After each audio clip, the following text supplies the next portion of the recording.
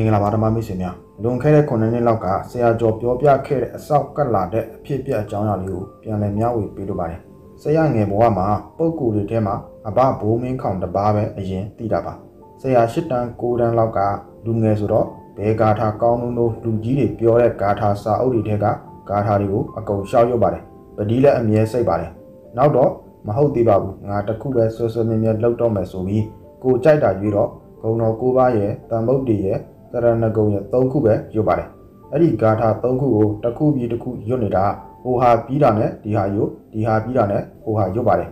နောက်တော့၃ခုထဲကတစ်ခုပဲရွေးမယ်လို့စုံဖြတ်လိုက်ပါတယ်အဲ့ဒါနဲ့ညအိတ်ခါနီဖះတိုင်တယ်အဘတွေကိုတိုင်တယ်ပါတယ်အဲ့ဒီတော့ကအဘတွေဆိုတာအဘဘိုးမင်းခေါင်မဲသိတာဆိုတော့အဘဘိုးမင်းခေါင်ကိုပဲတိုင်တယ်ပါတယ်အဲ့ဒီလိုတိုင်တယ်ပြီးတာနဲ့အဲ့တဲ့အခါမှာအိမ်မက်ထဲမှာကိုကလေကွင်းတကွင်းထဲရောက်နေပါတယ် အဲ့ဒီမှာပဲဘာကောင်ကြီးလည်းမသိဘူးအမွေးရှိရှိခြေတော့အရှိကြီးနဲ့ကိုစီတန်းလန်းပြေးလာပါတယ်ကိုကလည်းကြောက်ကြောက်နဲ့ပြေးလို့ကလည်းမရအဲ့ဒီမှာပဲအတန်ကြားပါတယ်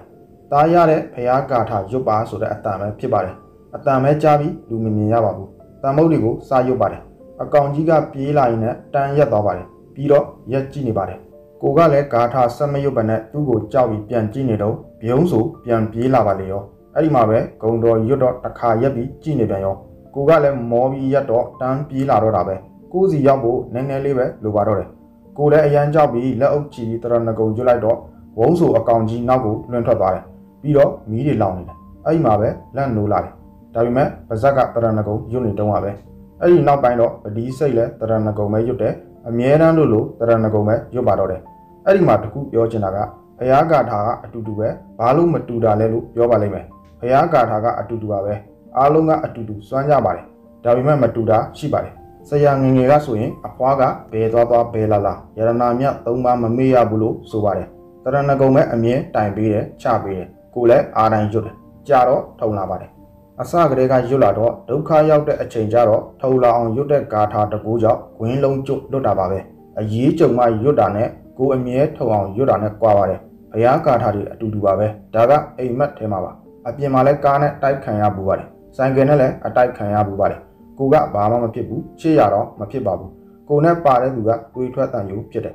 ဆရာပြောချင်တာကဘာပဲရွရွတစ်ခုပဲရွတ်ပါရွတ်တာများလို့ထုတ်လိုက်အကျိုးများပါတယ်ကိုယ်တိုင်ကြုံမှယုံကြပါစေအဲ့လိုဂါထာတစ်ခုကိုစွဲမြဲစွာရွတ်ဖတ်ပူဇော်လာတော့ကြာတော့ထုတ်လာပြီးဂါထာရွတ်ဖတ်ပူဇော်တဲ့သူမှာအဆောက်ကတ်လာပါတယ်အရေးကြုံမှရွတ်ဖတ်တဲ့သူကတော့သူဒုက္ခရောက်တဲ့နေရာကသက်ဆိုင်ရာပုဂ္ဂိုလ်ကကူညီဆောက်ရှောက်ပါတယ်ဥပမာ အဲ့ဒီနာကရုပ်ကဇိုးနတ်တို့ဘုံမဇိုးနတ်တို့ကွင်းပိုင်အာကာသဇိုးနတ်စတဲ့နတ်ကောင်နတ်မြတ်တွေကစောက်ရှောက်တော့တာပါပဲမစောက်ရှောက်လို့လည်းမရပါဘူးဘာလို့လဲဆိုတော့အဲ့ဒီလိုဒုက္ခရောက်နေတဲ့သူကဘုရားကုံတော်ကိုအရေးကြုံမှသူယုံကြည်ပြီးအန္တရာယ်ကနေလွတ်ကင်းရအောင်ရွတ်ပတ်ပေးမယ်လေမစောက်ရှောက်တဲ့အဲ့ဒီနေရာကရုပ်ကဇိုးနတ်ဘုံမဇိုးနတ်အာကာသဇိုးနတ်တွေကိုအထက်နတ်တွေကနတ်တပင်အစည်းအဝေးကိုတက်ရောက်ခွင့်မပေးပါဘူးအဲ့ဒီလိုမတက်ရတော့သူတို့ဖြစ်နေတဲ့ဒုက္ခတွေအခက်အခဲတွေကို နတ်တပင်အစည်းအဝေးမှာချပြအကူအညီတောင်းခွင့်မရှိတော့ပါဘူးဆရာဖတ်မှုတဲ့ဖះစာအုပ်တွေကအကြောင်းအရာတစ်ခုလေးပြောပြပါရစေတခါကသာဝတိပြည်ကမိမတယောက်ကတခြားမျိုးကသူ့အကိုစီသွားလဲဖို့သူ့ရဲ့ခင်မုန်းစီမှာခွင့်တောင်းပါတယ်သူ့ရဲ့ခင်မုန်းကကိုဝန်အရင်မှကြီးနေမှုမသွားဖို့ခလေးပြီးသွားပြီးမှသွားဖို့နာချပါတယ်မရပါဘူးသူ့အကိုစီပဲသွားတာပါပဲအဲ့ဒါနဲ့သူ့ခင်မုန်းကသူကတော့ကုတ်ရောင်းကုတ်ဝယ်သွားစရာရှိလို့လိုက်ပို့မယ်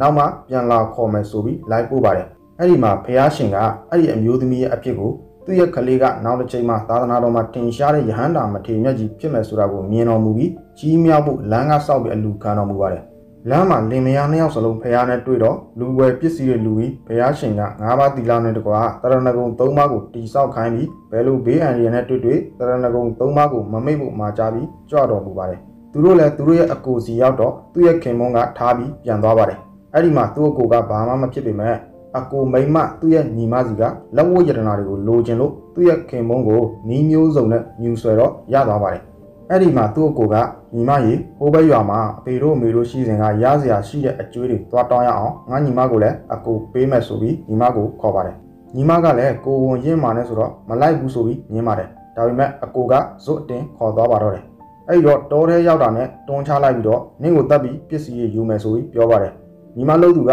ကိုဝင်ရင်းမာကြီးနဲ့ဆိုတော့မလောက်ပါနဲ့အကုတူလေးကိုလည်းတနာပါဥပါညာတောင်းမှန်ပါတယ်ဟိုကလည်းမစိတ်မုံနေတော့မရတော့ဘူးတေတော့ဆိုပြီးဓာတ်နဲ့ကုတ်တဲ့အချိန်သူ့ညီမကလည်းကြောက်လန့်ပြီးဗုဒ္ဓံတရဏံကိစ္ဆာမိဓမ္မံတရဏံကိစ္ဆာမိသံဃံတရဏံကိစ္ဆာမိဆိုပြီးလက်အုပ်ချီမျက်လုံးမိတ်ပြီးရုပ်ဖက်ပူဇော်လိုက်ပါတယ်အဲ့ဒီအချိန်မှာပဲတစ်ပင်ကြီးနောက်ကသူ့ညီမရဲ့ခင်ပွန်းကဓာကြီးဆွဲပြီးမင်းသေးပြီတော့ဆိုပြီးပြေးလာတာဟိုကလည်းချက်ချင်းပေါ်လာတာကိုတွေးတော့ကြောက်လန့်ပြီးတွက်ပြေးသွားပါတယ် အဲ့ဒါနဲ့လင်မယားများစလုံးပြန်လာတော့ညမိုးချုပ်သွားပါတယ်မြို့တကာပိတ်သွားလို့တာဝတိပြည်အပြင်ကဇရက်မှာညအိတ်ကြပါတယ်အဲ့ဒီမှာပဲကလေးမွေးဖွားပါတယ်သူလည်းမနဲ့မိုးလင်းတော့သူ့ခင်ပွန်းဘယ်ရောက်သွားလဲဆိုပြီးခေါ်ကြည့်လိုက်ကြည့်တော့လည်းမတွေ့ပါဘူးအဲ့ဒီချိန်မှာပဲလူတယောက်သူ့စီမှာတန်တန်မမလာနေတာကိုတွေးလာပါတယ်အနီးကပ်ကြည့်တော့မှသူ့ရဲ့ခင်ပွန်းဖြစ်နေပါတယ်သူလည်းမေးပါတယ်ဘယ်သွားနေတာလဲပေါ့အဲ့ဒီမှာသူ့ခင်ပွန်းကအံ့ဩနေပါတယ်ငါကအခုမှလာတာပါအခုညကအိမ်မက်မက်လို့ဇရက်မှာလာခေါ်တာပါ ဒါနဲ့သူလည်းအံ့ဩသွားပြီးညကကျမခင်ပွန်းကဘယ်သူလဲလမ်းမှာစောက်ရှောက်လာတာဘယ်သူလဲဆိုပြီးအံ့ဩတကြီးဖြစ်သွားပါတယ်အဲ့ဒါနဲ့ဖះစီမှာသွားပြီးဖြစ်ကြောင်းကုံစင်ကိုရှောက်တော့ဖះရှင်ကတရဏဂုံသုံးပါးကိုရုပ်ဖက်ပူဇော်တဲ့သူဟာဖះရဲ့သားသမီးဖြစ်ပါတယ်အဲ့ဒီလိုတရဏဂုံသုံးပါးကိုရုပ်ဖက်ပူဇော်တဲ့သူကိုဒုက္ခရောက်နေရင်နှက်ကောင်းနှက်မြတ်တွေကစောက်ရှောက်ရတယ်ညကချစ်သမီးကိုလမ်းခရီးမှာလိုက်ပြီးစောက်ရှောက်နေတဲ့သူကအဲ့ဒီတောမှာနေထိုင်တဲ့ရုပ်ကစုနတ်ဖြစ်ပါတယ် တရဏဂုံသုံးပါးကိုရုပ်ဖက်ပူဇော်တဲ့သူဒုက္ခရောက်နေတာကိုမကူညီရင်အဲ့ဒီနတ်ကိုအတက်နတ်တွေကနတ်တပင်အစည်းအဝေးကိုတက်ခွင့်မပေးပါဘူးကိုနေထိုင်ရာပတ်ဝန်းကျင်မှာသူတော်ကောင်းတွေဒုက္ခရောက်နေရင်အဲ့ဒီပတ်ဝန်းကျင်ကနတ်တွေကဝိုင်းဝန်းကူညီရမယ်လို့အထက်နတ်တွေကစီကံချက်ချထားတယ်လို့မိတ်တော်မူပါတယ်ဒီတာရကလေးကဘလောက်ကောင်းလိုက်လေတဲ့သရဏဂုံကိုမမေ့တဲ့၍ဖခင်ရဲ့သားသမီးတွေပဲဖြစ်ပါတယ်ဒါပေမဲ့စွဲမြဲစွာရွတ်ဖတ်ပူဇော်လာတဲ့သူနဲ့အကျိုးပေးကတော့မတူပါဘူး ဘာကွာလဲဆိုတော့စွဲမြဲစွာရွတ်ဖတ်ပူဇော်လာတာကြာလာတာနဲ့အမျှဂါထာကထုံလာပြီဆိုရင်အဲ့ဒီလူကိုအမြဲစောက်ရှောက်မဲ့အဆောင်ပုဂ္ဂိုလ်ကစောက်ပါတယ်ဘာလို့လဲဆိုတော့သူ့ရဲ့ခန္ဓာကိုယ်မှာဂုံတော်ရဲ့တတ္တိတွေအစွမ်းတွေဖရာရဲ့ဂုံတော်တွေထုံလာတာနဲ့အမျှကိန်းအောင်နေလို့ပဲဖြစ်ပါတယ်တခုရှိတာကစွဲမြဲစွာထုံအောင်ရွတ်ပတ်တဲ့သူကဘာအကြောင်းနဲ့မှရက်ပြတ်လို့မရပါဘူးဥမာလဲနေတဲ့ပန်ကာကတချောင်းကျိုးသွားရင်လေအားအပြည့်အဝမရတော့ပါဘူးဒါကြောင့်ဆရာထပ်ပြီးစေတနာနဲ့တိုက်တွန်းပါရစေဘာပဲလုပ်လို့ ဘဲကာထားဘဲကုံတော်ကိုပဲရွတ်ပတ်ပူဇော်ပါစေတခုကိုပဲဆွဲဆွဲမြဲမြဲပူဇော်သွားပါတကယ်ပေါင်းမြောက်အောင်မြင်တဲ့သူတွေကတခုပဲဆွဲဆွဲမြဲမြဲလှုပ်သွားလို့ပဲဖြစ်ပါတယ်ဒါမှလည်းအကျိုးပေးမြန်မှာဖြစ်ပါတယ်အဲ့လိုမဟုတ်ပဲဟိုလူပြောလို့ဒါရုပ်ဒီလူပြောလို့ဒါရုပ်သွားရင်အသက်60သွားပြည့်သွားမယ်ဘာမှဖြစ်မှာမဟုတ်ပါဘူးကုသိုလ်တော့ရပါလိမ့်မယ်ဆရာကြီးလောက်တာတော့မဟုတ်ပါဘူးမိတ်ဆွေတို့ကိုစိတ်ရင်းစေတနာနဲ့ပါကျွန်တော်မျက်စိသွေးကြောပေါက်ထားတာတော့အခုလိုဓမ္မဒါနလေးတွေပြန့်ဝေရရင်ပြောပါတယ် တကယ်လို့လို့တကယ်ရတာမိတ်ဆွေတို့ပါဒါကြောင့်မိတ်ဆွေတို့ကကိုယ်တိုင်လုပ်တဲ့အတွက်ပို့ပြီးအကျိုးကျေးဇူးများပါတယ်ကျွန်တော်ကတော့စေတနာနဲ့တတိပေးတိုက်တွန်းတဲ့သဘောပါပဲမိတ်ဆွေများအားလုံးလည်းလောကီလောကုတ်နှဖျားသောအကျိုးတွေကိုရနိုင်ကြပါစေမန္တန်ဝိဇ္ဇာဖြစ်လို့ရင်မန္တန်တစ်ခုကိုတနေ့အခောက်တစ်ထောင်ရက်ပေါင်း9ရက်ရအောင်အရင်ကျင့်ပါမိမိကြိုက်နေတတ်တဲ့မန္တန်ဖြစ်ပါစေနံပါတ်1အရန်ခတ်သောမန္တန်မဖြစ်ရပါဘူးနံပါတ်2 အရန်လွယ်သောမန္တန်လည်းမဖြစ်ရပါဘူးနံပါတ်3တထိုင်တည်းနဲ့အခောက်ရည်မြည်မြဆိုပြီးတတ်မှတ်ပြီးရုပ်ပါနံပါတ်4မိမိရွတ်ဆိုမဲ့မန်တန်ကိုအလွတ်ရအောင်အရင်ကြက်ပါနံပါတ်5အမိုးအကာလွတ်တဲ့ဟင်းလင်းပြင်းနေရာမှာရွတ်ဆိုခြင်းအမှုကိုပြုနိုင်ရင်ပိုပြီးခရီးရောက်လွယ်ကူပါမယ်နံပါတ်6ကြင့်ကြံအားထုတ်နေစဉ်၅ပါးသီလကိုမကြိုးပေါက်အောင်ထိန်းပါနံပါတ်9မိမိတနေ့တာအခောက်ရည်တစ်ထောင်ပြည့်ရင်အဲ့ဒီကြင့်ကြံအားထုတ်မှုကို မဟာပထဝီမြေကြီးကိုတက်သေးပြုပြီးဝတုံတွေနတ်မင်းစီမှာတိုင်တဲတစ္ဆာပြုပြီး30တပုံကိုအမြပေးဝေပါ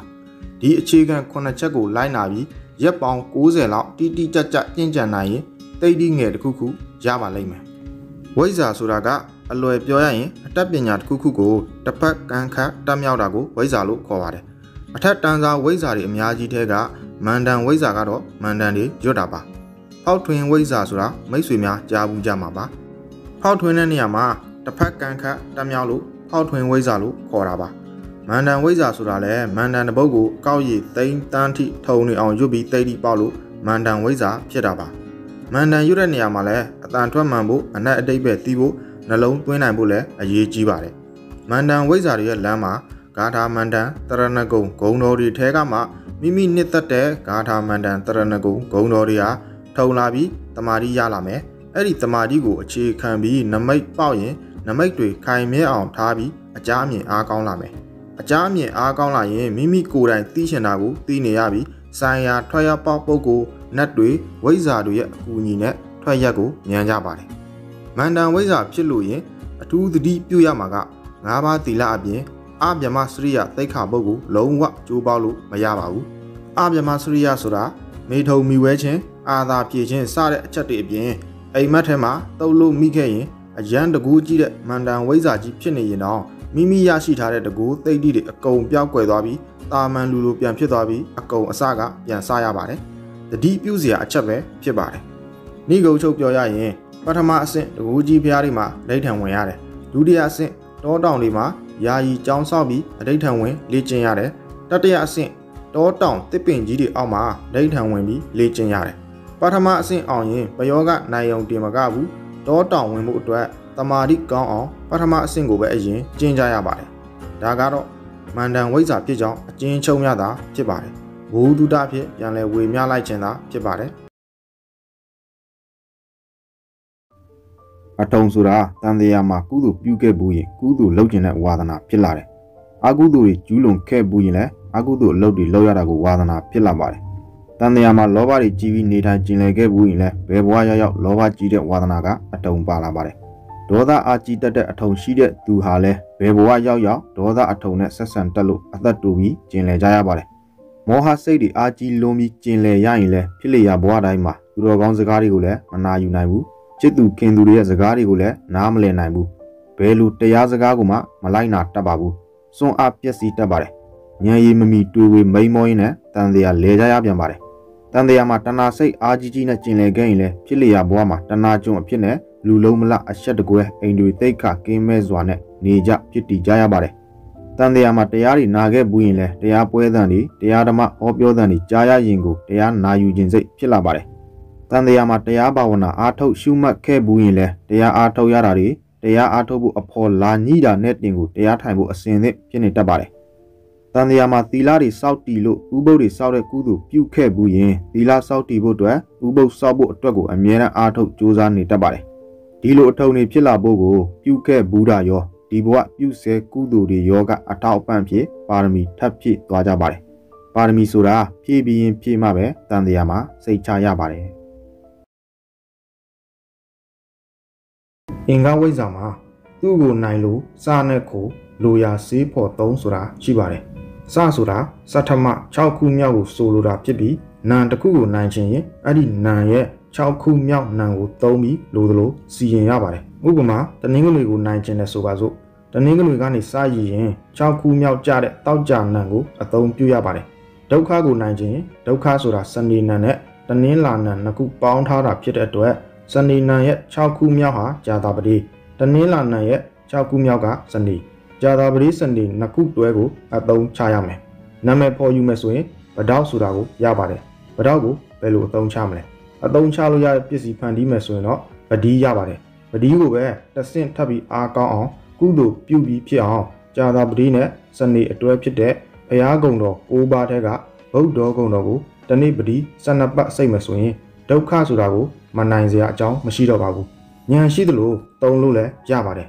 လူရယ်လို့ဖြစ်လာရင်ဒုက္ခဆိုတာကရှိမှာပဲအနည်းနဲ့အများပဲကြွားမယ်ဒုက္ခပေါ်လာပါစေဒီနည်းနဲ့အလွယ်တကူဖြေရှင်းနိုင်ပါတယ်တချို့ဆိုဗုဒ္ဓဂုံတော်ကိုတနေ့12ပတ်ဆွဲဆွဲမြဲမြဲစိတ်ပြီးအိုးပိုင်အိမ်ပိုင်လုပ်ငန်းပိုင်တွေရသွားတာကိုတွေ့ဘူးသလိုအိုးပိုင်အိမ်ပိုင်လုပ်ငန်းပိုင်တွေရှိတဲ့သူဆိုရင်လည်းငြိမ်းချမ်းတဲ့အိမ်အစဉ်ပြေတဲ့လုပ်ငန်းတွေဖြစ်နေကြတာကိုတကယ်လက်တွေ့မြင်ရတွေ့ရပါတယ်ဒီနေရာမှာရှင်းပြစရာရှိပါတယ် ဘာလို့အိုးအိမ်အလုတ်တနင်္ဂနွေနံတွေကောင်းလာရတယ်လဲဆိုရင်အင်္ဂါဝိဇ္ဇာပညာခန်းအရာမိတ်ကိုဓာတ်စင်အယံသင့်ဆိုတာရှိတယ်။ဥမာတနင်္ဂနွေနံအိုးအိမ်အလုတ်ဩဇာအာနာကိုအလိုရှိတယ်ဆိုပါစို့။တနင်္ဂနွေရဲ့မိတ်ဖြစ်တဲ့ကြာသာပတိနဲ့တနင်္ဂနွေရဲ့ဓာတ်မိတ်ဖြစ်တဲ့စနေနံအတွဲနဲ့စီရင်ရပါတယ်။ဗဒေါပတိဗုဒ္ဓောဆိုတာတွေဟာတနင်္ဂနွေနံရဲ့မိတ်ကိုဓာတ်စင်ထားတာတွေဖြစ်နေတာကိုတွေ့ရပါတယ်။ဒါကြောင့်ပဲ အိုးပိုင်အိမ်ပိုင်လုပ်ငန်းတွေဖြစ်လာရခြင်းအိုးအိမ်အလုပ်ကိစ္စတွေအစဉ်ပြေလာရခြင်းပဲဖြစ်ပါတယ်ဒုက္ခကင်းပြီးအိုးပိုင်အိမ်ပိုင်လုပ်ငန်းပိုင်တွေဖြစ်ခြင်း